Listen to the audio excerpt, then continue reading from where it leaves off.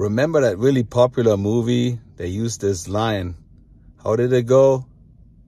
Stupid is what stupid does. Yep. Welcome to my beautiful recording studio right here in Los Angeles, overviewing the whole Los Angeles area. And you are watching GIV TV.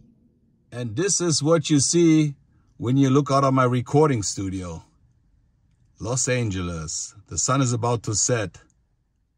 Wait a second. If I use my car as a recording studio, is my car actually a tax write-off, the whole car? Hmm, I have to look into that. Well, I want to address something from last night where I'm going to hold this microphone here.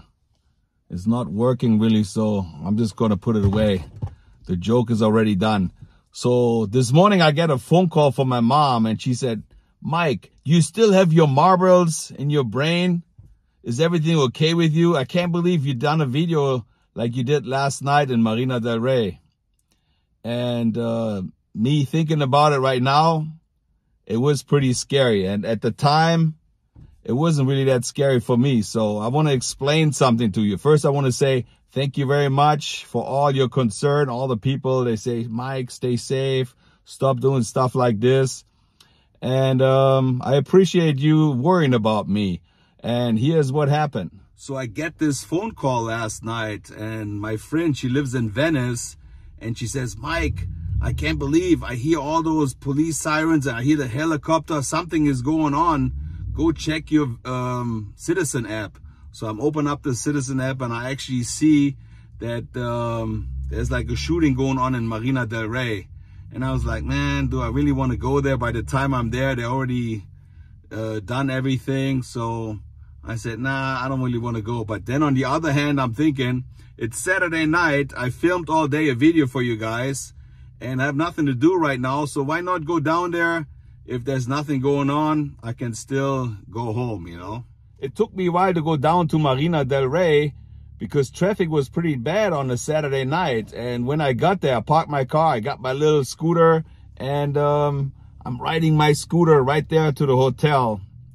And me getting there, I see a lot of people standing around, like all those neighbors, they all have their little cell phone and um, they're recording what's going on over there.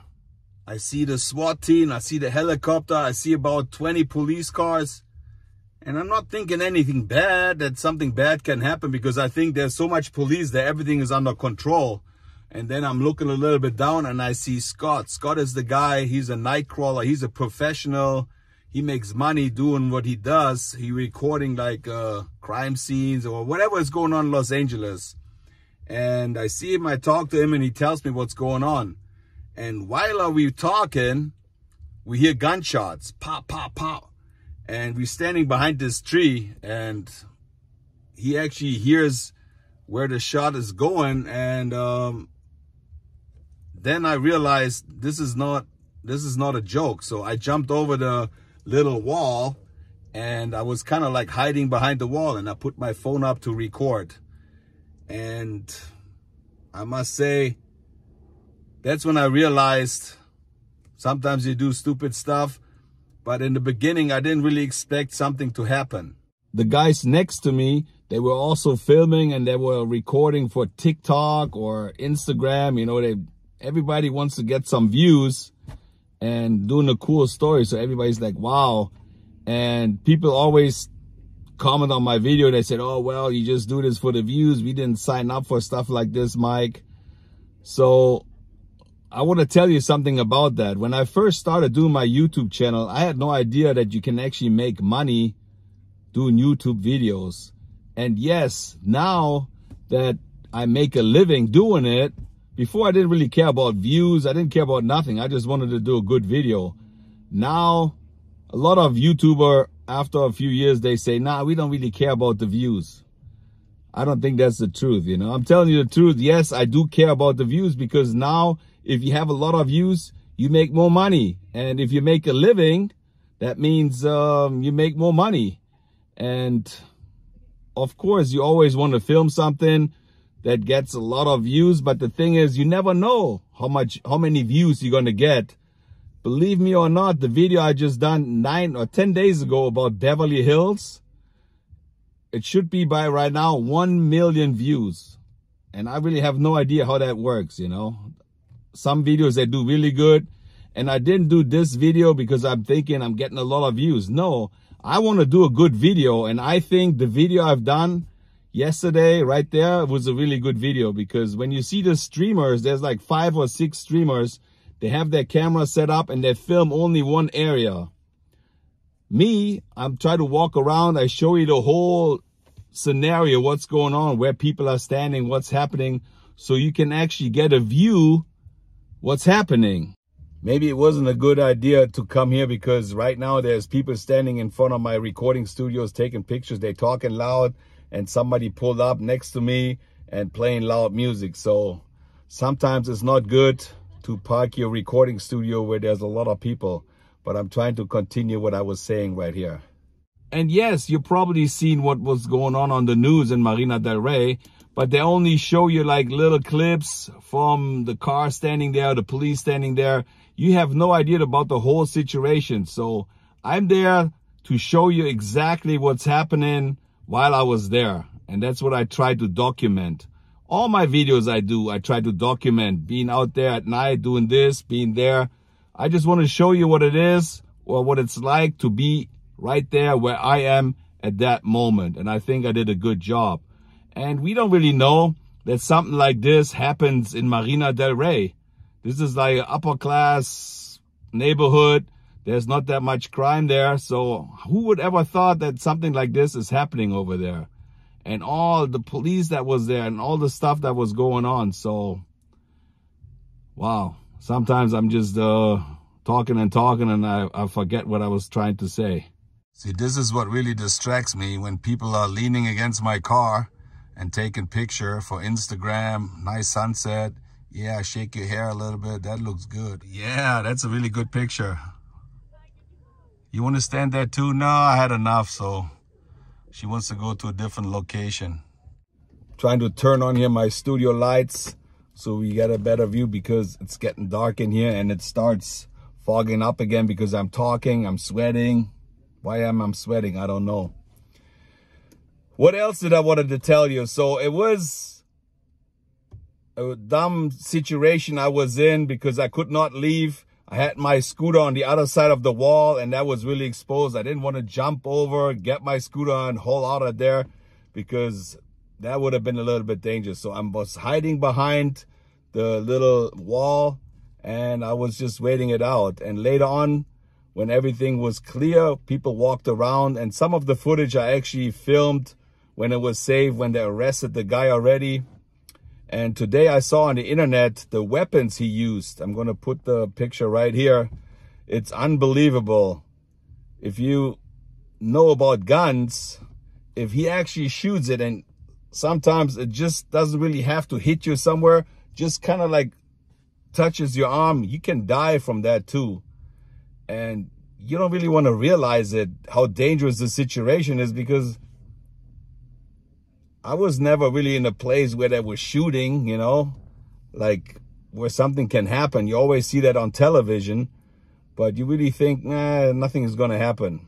And that's the mistake I'm doing a lot. Sometimes when I go places that in the middle of the night, I don't really feel any fear or danger because I don't think nothing can happen, but it always something can happen. And there's also something that some people don't understand. Some people, they get a kick of what they do. Some people don't understand. They say, how can you be there? You know, I'd rather stay at home. There's people that jump off that building. Remember, like with a parachute, they walk around on a high-rise building and on this little edge right here, and they film down there. I would say, those guys are crazy. I can't believe they're doing this. But they have like an urge to do it. I tried to explain that before. Those people that live to do stuff like this, they only they don't do that only for the views. Yes, stuff like this gets a lot of views because nobody else does it because it's dangerous. But they get a kick out of it. And I watched another video on TikTok. This guy, he's going into caves. The cave is only that high. So he's like trying to go to that cave. That he doesn't even know if there's like a, an, where he can go out or not. So he's kind of like inside the cave, can barely breathe. Duh, why would people do that? For some reason, that guy gets a kick out of it, or I can't explain it. And I feel the same way. When I was there yesterday filming, my ad, my adrenaline is pumping a little bit. I feel good. I want to do a good video. It excites me, you know, and, and some people say, I would never do that. Yeah. There's things you do I would never do. There's people that go into Coachella right now. I don't think I would ever go to Coachella, you know. Coachella is probably not dangerous, but uh, that's what I'm saying. Everybody has a different thing they like. And that's what I wanted to tell you too. I don't really need to explain all this, but why not? I'm just, when I see that I did a mistake and, uh, and I'm thinking about it now that I'm sitting here safe, it was dumb to stand like there like nothing can happen to you. I could be in a hospital. I could have been dead right now. So I'm glad nothing happened and I have to think a little bit more the next time. But like I said, you can never really plan for anything. You walk in the mall. I was yesterday in the mall shooting a video for you guys. And then I come home at night and I see in Australia, was it? The guy killed or stabbed five people in the mall. A place where you never would expect something to happen, you know? So life is crazy. And the bad thing is you might be always try to be safe and do everything, but there's other people that can influence your life. And you know that. You're driving, somebody's drinking, he's going to hit you in car and they survive. And the person who has nothing to do with it dies. Happens so many times, you know. It's just crazy. Life is crazy. You just got to make the best out of it, I believe. And I'm talking and I'm talking and look, there's the heart from the last time. But it fogs up my windscreen right here, my windshield.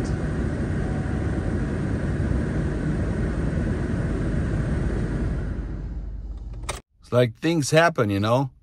This person came here five minutes ago and they keep let, letting the car run and run and run. You hear the motor? Why would you stand right here, park your car, and let the motor run the whole time. It makes me crazy. It bothers me doing my video here. Hear that? I guess stupid is what stupid does. That's why they use that phrase all the time.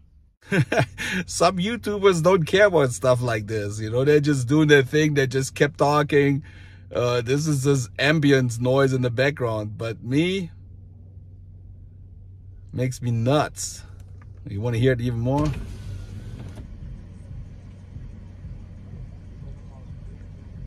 And then the bass, I don't even know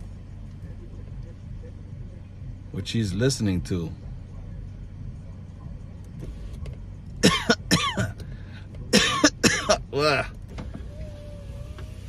You're getting a contact high too. But just open your window here. Nope. It bothers me so much. I gotta leave. And she still has the motor running. People enjoying the sunset. Mike, the last few videos you've done, I didn't sign up for that. Signed up for that? What did you sign up for? You probably didn't even subscribe to my channel, so what are you complaining about?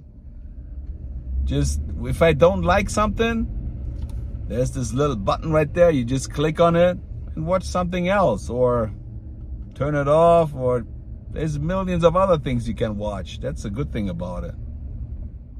Well, my friends, that was it. Live here from the parking structure at Trader Joe's.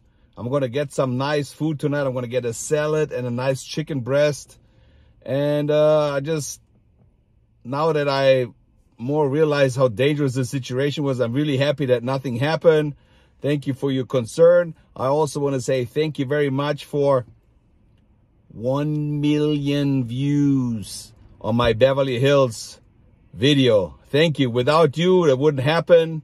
I also want to say the people that supported me the last couple days on PayPal, I seen some of them. I did not write everybody back. I will do that in the next couple of days. Thank you so much. If you happen to like this video, give it a thumbs up, push the notification bell, and subscribe to my channel. Something is missing. I don't know. Give me a second here. The Bluetooth device is ready to pair. Ready to pair. Are you ready? Are you ready to rumble?